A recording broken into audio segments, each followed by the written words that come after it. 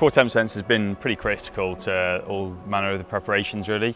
It's enabled me to both measure what happens in practice runs so I know what core temperatures I am hitting and need to be able to target in training but also enabled me to do heat training sessions and keep myself in the right zone really uh, so I'm not to be cooking myself in training sessions but I am training hard enough to get the thermal stimulus that I need.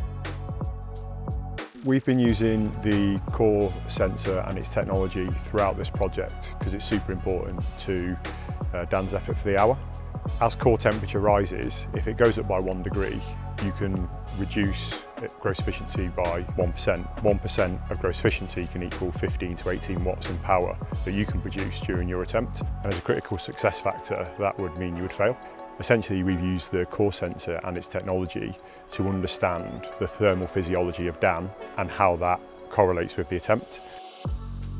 The most surprising discovery, I think, would be just how warm you can get in a warm-up and not perceive it ahead of competition and that you can mitigate quite a few, uh, quite a bit of that warming with the right kind of strategies and interventions. So I guess it's opened up a world of objectivity into something that we haven't particularly looked at in great detail before.